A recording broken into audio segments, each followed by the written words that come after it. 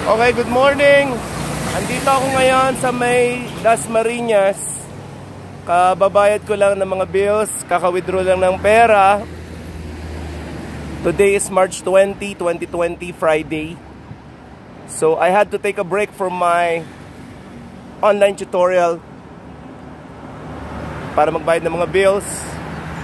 Dito muna ako nagpahinga. I took a bicycle ride